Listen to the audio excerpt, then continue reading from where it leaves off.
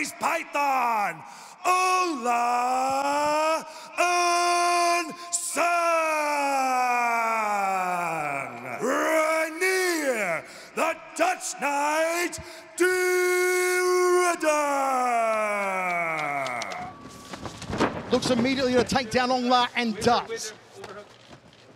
Oh, that was so simple. He stepped in, got nice and tight, and immediately went in for the double leg. Now, this is really important for Aung La. He's got to push off the head, get his back up against that wall, and start working his way back up. de Ridder is very hard to stop once he gets that body. Swipe your back across the cage this way. Again, I talked about this before. Like he took Aung La down, had that dead hip on the ground, and but Aung La is able to work himself back to his feet. So until there's still a scramble here. Aung La, he's getting his back taken, Rich. You can see it. He's got he's a little bit high, but you can see Aung La is doing a good job, but that hook's preventing him from doing it. Beautiful job Now by this- de Ridder to transition into half guard. This is an established takedown finally. Top position for Reinier de Ridder, the challenger tonight. He's already the middleweight world champion. Wanting to take Aung La's light heavyweight world title in half guard. Reinier cuts the hip in.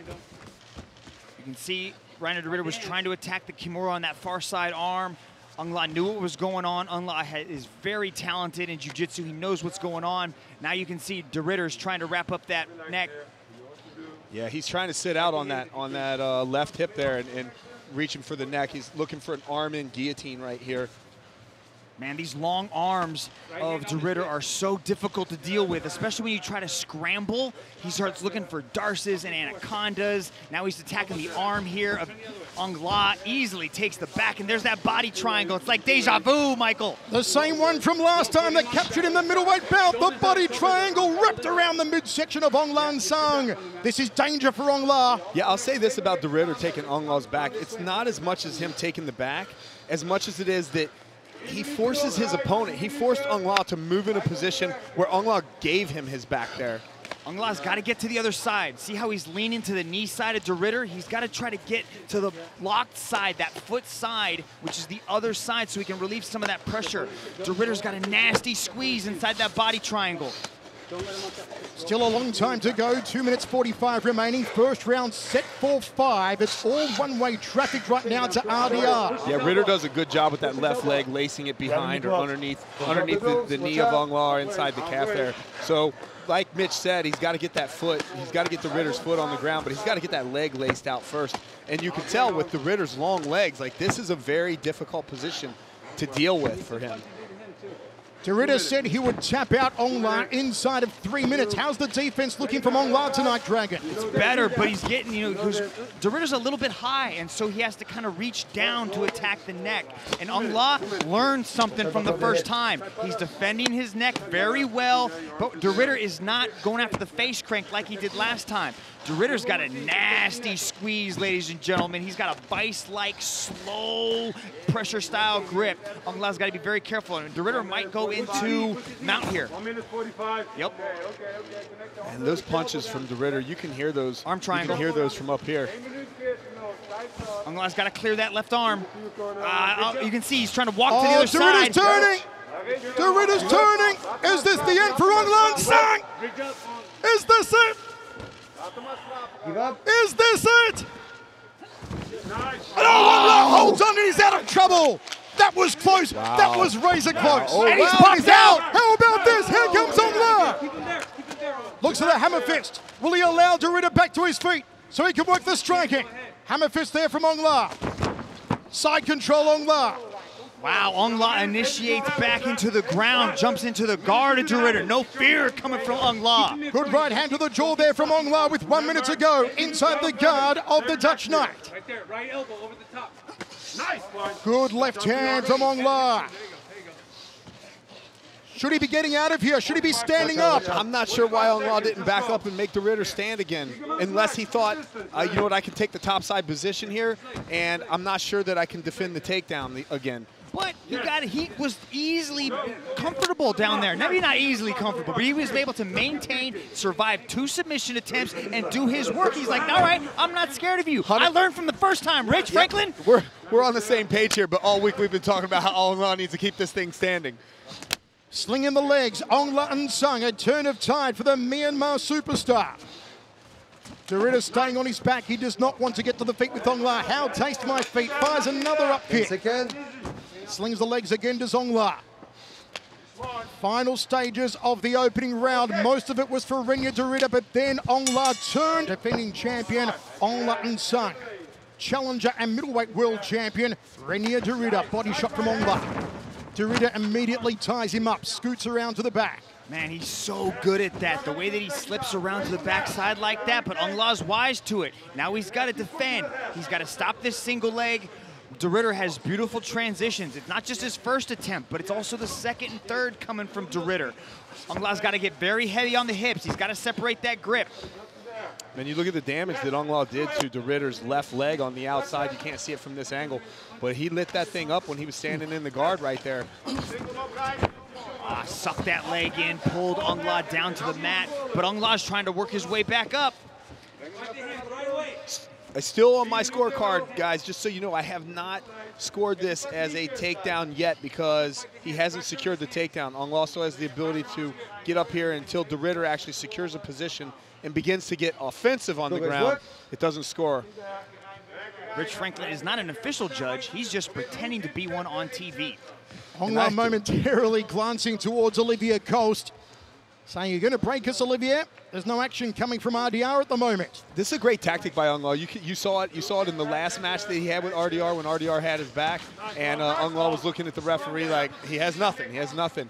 He did the same thing against uh, Bigdash as well, working the ref. That's veteran experience, is what that is. Man, just relentless. Goes after one, goes after the other, trying to get that single leg. Again, trying to pull out the knees. But Aung La's doing a good job of getting his legs back and then working his way back up the wall. This is Uppercut from Aung La, beautifully placed on the inside, nice and tight. And another uppercut from Aung La as RDR drops down for a single to execute a takedown. DeRitter was getting ready for a match, Brother, hey, watch but this was taken on short notice. So as this match hits those championship rounds, it's gonna start to wear on him. He wasn't prepared for this type of work. I wonder if in his mind, he, the psychological effects of having those takedown defense defended rich are starting to weigh heavily on his mind. Absolutely, and you know, uh, the Ritter here is working a lot for these takedowns. We've seen this earlier tonight. We saw it with Eddie Alvarez. This pressure against against the fence. We've talked about this, Michael, and this takes a lot of energy out of you. And one of the things, one of the advantages that Aung La always brings to the circle is his conditioning. And so, as this fight goes on to the deeper rounds, particularly the championship rounds, four and five, that could be the difference maker. There were a lot of questions, however, after the loss to RDR last time for the middleweight title, that Aung La had come back, of course, from a bout of COVID and how he'd managed to recover. There are still so many question marks about professional athletes recovering from COVID. Inside up half guard here with two minutes remaining, second round set for five of our light heavyweight world title main event. Unlock goes to the body lock. He was trying to dig that underhook, but de Ridder was wise to it. So he framed out, switches his hips, postures out to that side. Now he's going to try to attack the Kimura as he steps over into mount easily. Such a smooth transition to mount there. He did that so easily. The elbows from the towering Dutch Knight, dropping them down. Aung La's going to give his back. No. Nice job to wall walk, though, out of that mount. And de Ridder was forced to step over. Now he's looking to take that back again. If Aung La can press his back up against that wall, he'll be able to defend this back take. This is one thing that he does really well. Like Aung La's always very aware of his surroundings, knowing when to use the, the cage wall, when to wall walk. He's able to. I mean, technically, what he's doing there is wall walking with his right shoulder up, and this is what, what's able to get him back to his feet. He does such a great job of this. This is where his veteran experience really pays off in the circle. Man, look at those legs of de Ridder. He has been only Aung La has only landed a few leg kicks, but already you can see the welts as de Ridder easily transitions into the back again. Puts the figure four, trying to lock it around the body of Aung La. Fence, fence, don't grab the fence. What's he done here with his legs, Dragon? Well, he's got one side, so he's got one hook in, and then he triangled. That's those legs of de Ridder. They're so long, and he's able to do things that most people cannot do. Yeah, anytime that you're going to uh, control the back, and de Ridder has a unique style here, but you always want your bottom leg to be the leg that has control, that's laced in with the hook. But then he does exactly what, what Mitch was talking about there, is creating a triangle, and rather than a body triangle, it's a triangle around the leg. But see how he used that to transition into side control? High level jujitsu, ladies and gentlemen, coming from Reinier de Ridder, the middleweight champion, as he's starting to soften Aung La up with the elbows as the 10 second clapper goes. Side control here for RDR. Knee on belly from the Dutch Knight. Drops the elbows on the forehead of a minute to a minute and a half of shining at the end of the first round, but it wasn't enough to, to really close any kind of lead. So in, in my cards right now, de Ridder has a pretty significant lead, and if this trend continues, obviously he's going to go with the with the victory here. But this is still anyone's match, obviously, because we do not judge on a round by round basis. Popping left hands there from RDR. Posting up with that right arm. Aung La. Both men breathing hard here in the third. Lots of instructions coming from Henry Hooft and the team out of Sanford MMA from Florida in the corner of Aung La N Sang. Hustle here, like we do the gym. RDR dragging the Burmese Python down, puts the hooks in, gets the back control. I expect the body triangle to come here pretty soon. You can see the way that RDR is trying to lace those hips. He's going to take that leg, wrap it around him, pins him into position. Now this, ladies and gentlemen, just creates a tight squeeze on Ung and Song. Not only is he holding him there, and it's hard for Aung La to really get out of this, but it creates pressure on the stomach, and it makes it very difficult to breathe. Aung La now needs to shift his weight to the foot side. You can see how RDR is trying to keep him to the knee side, which is his right side. Aung La needs to go to his left so that pressure starts to diminish on the squeeze that he has on his body and also starts to relieve some pressure so he can get out. You know, we talked about Aung La doing a better job with defense here. Obviously, this choke that he's threatening, that RDR is threatening with here, he's not in any real danger yet. Oh, that was very crafty with the heel kicks to the stomach, Right? Hurts me watching that. But, you know, uh, Aung La's got to be careful here. This is round three. We talk about the championship rounds. That's where he always shines. But little by little, this match is starting to inch away from him. And it may get to the point where it's so deep that Aung La will have to earn the knockout or the submission in order to actually win this thing. RDR thought about an armbar, couldn't lock it on. Got the gable grip there, going for uh, possible arm in. Knees to the head of a grounded opponent, of course, are perfectly legal under the global rule set. We saw the same thing with Gilbert Galval when he went to that gable grip and started laying into those knees. But also, what it gives him the chance to do is set this up. He's going to attempt now to go for a Darce choke as well. That enables him to wrap those long arms, and that's exactly what he's doing. See how he's sitting into it? He's got one arm. It's basically an arm triangle of inverted. So he's got that Darce choke. Let's see how Aung La defends this. He might transition and go for those knees with the gable grip. Back and forth tactics coming from RDR. The knee that he planted on Gilbert Galval was phenomenal. Trying to drive the patella into the side of the head here of Aung La. Well, it's just the way that De DeRitter does has his control here. He's he's so heavy on top that in a, in a situation like this, like Aung La is having uh, having trouble moving. But man, look at him showing pulling right out of that. Amazing. Tremendous from Aung La, glances towards his corner. They're giving him instructions, trying to talk him through this predicament. Backed up against the fence. 120 remains, third round of five. Yeah, Michael, you're, you said it right on the head. He was trying to peel that arm off, just listening to his coaches, and Henry Hooft is just walking him through the steps he needs to do to just survive these positions. Beautiful job by Aung La to work his way back up to the feet, but this is not where he wants to be. Aung La does his best work when he's at distance. We can utilize that big right hand, uppercuts, overhands, and also those leg kicks. He's got to create some separation. What's funny here is that the non-Dutch fighter has the Dutch style of striking. Dutch kickboxing, it's all on Aung La. Yeah, 45 seconds. And the Let's man go. who is not 45 called seconds, let's the go. Python squeezes. Down the back of the head. the snake. 30 seconds. Resting up on that left arm Aung La. 30 seconds remains now in this round. Another big round for Reinier de Ridder, but once again, as Rich reminds us, we are scoring this as a 25-minute overall bout and not as five seconds. individual five-minute rounds. Yeah, I've spent some time. I've spent quite a bit of time on the mats with with Aung La. He's he's strong. So to see somebody like de Ridder just Yes. on top of him with pressure and Aung La having trouble moving him makes me makes me wish I could have a grappling session with de Ridder. Remember? Turn him on the I wouldn't wish that on anyone. in that fifth round with that massive uppercut. Ki- Aung La N Sang is always in it, but he has to stop this. And this just looks like a replay from the first match that they had with that takedown. That one was slightly different, though. That was just the single leg. It quite Yeah, wasn't up to the switch and the body takedown. He, did, he didn't again, transition to the lock. You are correct. immediately, 20 seconds in, Aung La gets taken down, put on his back. You know, at this point in time, I don't know if Reinier de Ridder has any submission attempts that Aung La hasn't seen yet. He's always got a bag of tricks, so don't hold me to that, ladies and gentlemen. Uh, Reinier de Ridder is a submission master, but Aung La Sang needs to change this. It's good for him to be in half guard. He's got to try to get that underhook of the head, on that left side and start moving.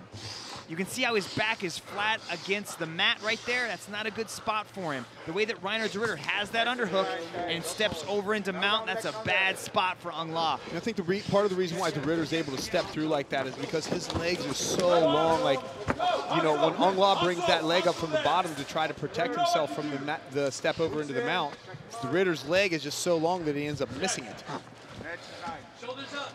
Dorita has the back of Aung La again, as he has every round. Will he slap on that triangle? Working on it. Go. You can hear the heavy breathing, see the chest heaving of Ongla Nsung. You can see how Aung La is kind of tr- control the hands right there. He's got those hands nice and tight, so De Ridder can't pull the hand out and start attacking the neck. But just as I say that, De Ridder starts looking for the neck again. Aung La has definitely stepped up his submission defense, making it very difficult on Reinier De Ridder. But he's got to get out of this body triangle. He's got to start moving. This body triangle will make it even harder for Aung La to breathe, to fill his lungs. And Reinier glances towards his corner now. You talk about strategy of grappling as, as a fight wears on in the later rounds. You know, athletes, they're slippery. Things, it's more and more difficult to lock in certain submission holds. And that's why this body triangle is really beneficial for somebody like De Ridder because no matter how sweaty Aung La gets, you're just squeezed and trapped in that kind of thing. And so Aung La's going to have to really, really come up with some sort of real solution here because this match really is starting to run away from him. But Rich, we saw it in the third round when Reinier De Ridder starts transitioning, starts to create these little bit of movements. Aung La was able to spin into the circle, which he's able to do right now. Yeah, but De Ridder's not off that back yet. But and there you have it. He breaks him right back down again. And that's the thing, you know. It, Aung La is an explosive athlete. He shows some glimmer of hope there, but that's just a testament to De Ridder's control and level of jiu-jitsu on the ground. Minutes to. Hard strike to the side of the neck there from Reinier de Ridder. Triangle wrapped around the body again from the Dutch Knight. Under two minutes remaining in this penultimate round. Full position. What are the options for Aung La here, Dragon? Well, he's got the pressure to the right side, so you can see that he's on the foot side. That's where his body weight is leaning. But the way that Reinier de Ridder has the leg triangled makes it even more difficult for Aung La to move. See how his left leg is kind of trapped there? Now he's doing a good job of removing that, but as I say that, Reinier de Ridder transitions into full mount. Now the arm is in a bad spot. Aung La needs to clear his right arm because Reinier de is trying to drop that head down. Good job by Ung La to recover that. But then Reinier de Ridder's still on top. Ciao, ciao. What dominance from RDR on the ground today. Fence, fence, fence, fence. He's mounted Aung La more times than a pommel horse. And you've got to wonder what can Aung La do with one minute remaining in the fourth of five. You know, I've been in these situations where you're just out grappled for a long period of time, you know, but it doesn't usually happen for 20 minutes solid where you're just outclassed and you really have to step things up. But Aung La carries that power into deep rounds, so he still has the capability to put RDR's lights out. But if the past 20 minutes have been any indication, I expect the fifth round to just continue with this trend. Yeah, we talk about we talk about Aung La's conditioning and, and how he performs in the championship rounds. But man, I mean, when you have somebody like de Ridder on top of you, I've never had de Ridder on top of me, but I'm picturing what it feels like based on what I'm watching here, and it's just a long time to carry that weight. But you have been out grappled before. When was that? Never? Never, you've never been out grappled? I've never been submitted, 10 seconds. not in a match. Geez, you're a brave man tonight, Mitch. I tell you what, a little cocky calling out Rich Franklin like that. Finals, it's been all de Ridder so far, and he shoots in for a single early. Aung La's got to try and keep it on its feet. He stays vertical for the moment to Aung La. I'd love to, yeah, Aung La needs to start working in that underhook right there with the right arm like he just did. The round. Ready to hustle. Right on. And there's the takedown. Aung La on his back with de Ridder on top inside of half guard. Not where Aung La wanted to be within 30 seconds of this last round. Yeah, Michael, it's just a master class from Reinier de Ridder, taking this match exactly where he wanted to, having very little resistance once this thing hits the ground, trying to pass the guard here. You can see how he has that left leg down there on the thigh. He's going to try to take his right leg, pop that through, and then just sit right into full mount. Good job by Aung La to kind of relieve that pressure from the mount. I'm wondering where Aung La goes from here if de Ridder ends up taking this belt. Now de Ridder holds the belt in the light heavyweight class. He holds the belt in the middleweight class. And the question is, if Aung La actually had a full camp to prep for de Ridder, is would that be the, the difference maker because this was on a five-day notice? Five. Let's go. You think a rematch is warranted? Not at this point in time, but that's what I'm asking you. Where does Aung La go from here? It has never been done in history for one man to take another man's titles in two out, weight back of the head, divisions. Is Reinier de Ridder now three minutes and 30 seconds away from making history? He's in the full mount there, again. Yeah. Keep punching him there. Keep punching. Be smart. This would be a massive moment if de Ridder beats Aung La tonight. Shots to the side of the head from Aung La, but he's got to find a way to get off his back. Can Aung La get there now? Can he get to his feet? Top position for Aung La. Now has the pendulum swung. Push his chin. Push his chin, they're saying. Posture up, work the ground and pound. Up, elbows, punches. Nice job by Aung La N Sang to explode out of the mounted position, and now he's working from the top. He's got two minutes and 45 seconds to really put something together because the lead, Rich, has got to be gigantic for RDR. Yeah, it's, it's huge at this point in time, and, and I agree with Aung La's decision to stay on the ground in the guard here, particularly after I saw that initial takedown defense that he attempted at the beginning of this round. But Get the right it's going to be difficult for him to get it done. It's going to be difficult for him to close the gap with enough damage or near finish or whatever. He's going to have to submit or knock out Reinier de Ridder in order to win this match with the amount of time that's left. There is no quit in Aung La N Sang. There is no surrender in the Myanmar superstar. But time is now a big enemy for him. Two minutes remaining for Aung La to try and find a finish, or history will be made by Reinier de Ridder. He will become the light heavyweight world champion, in addition to holding the middleweight world championship, something that's never been done before to win both titles from the same man. On, frame his head, frame his chin with your hand and posture up. You've got to get your head up. You hear them in the corner saying, frame his chin with your hand and posture up to work that ground and pound. Get on your toes. Push into it. Get your head up. There needs to be more of a sense of urgency from Aung La's corner here. They have to know that this, this fight is slipping away from him second by second. Drop the right elbow. Close guard from RDR. Get that posture. Pulls the right hand out to Zongla. Can't land it cleanly, however. RDR closes down the posture again of the champion. You wonder if we are seeing the final 65 seconds of the reign of gold of Aung La N Sang. Something that's become so, such an iconic part of one championship all around Asia.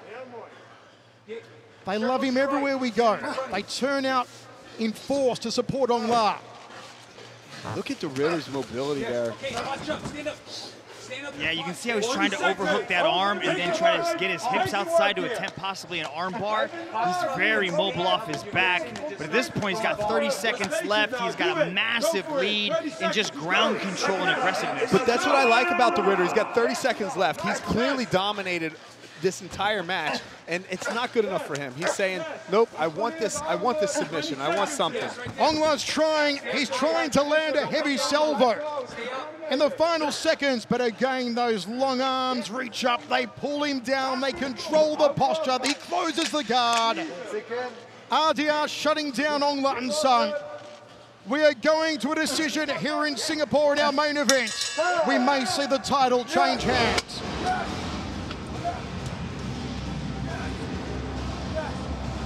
Aung La pumps his fists in the air. Reinier de Ridder does not pump his fists in the air. Is Aung La seeing something different? Your winner by unanimous decision and